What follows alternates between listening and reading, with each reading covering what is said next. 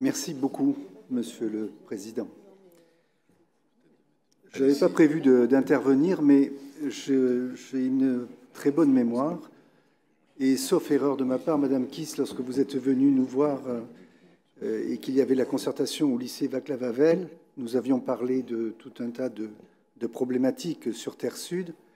Et l'une des premières problématiques était que les poubelles publiques ne pouvaient pas passer dans le quartier Terre Sud, qu'il y avait des voitures qui étaient mal garées dans tous les sens dans ce quartier et qu'on ne pouvait pas vider les containers qui étaient là, laissant des rats et des choses se faire. Ça s'est beaucoup amélioré depuis, le parking n'y est pas étranger.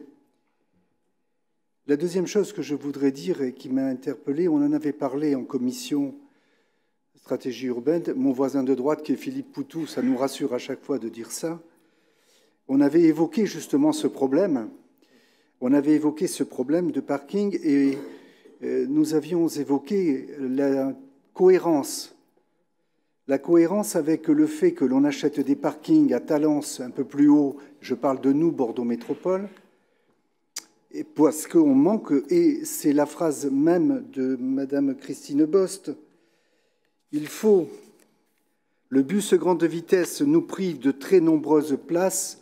Il nous faut sur cette route de Toulouse des parkings et de justifier l'achat du terrain du 455 ou 555 route de Toulouse côté Talence. Ce parking, ben c'est la même chose, c'est le même problème. Pourquoi ce qui est juste à Talence ne le serait pas à Bègle? Je ne comprends pas, d'autant qu'on en a besoin.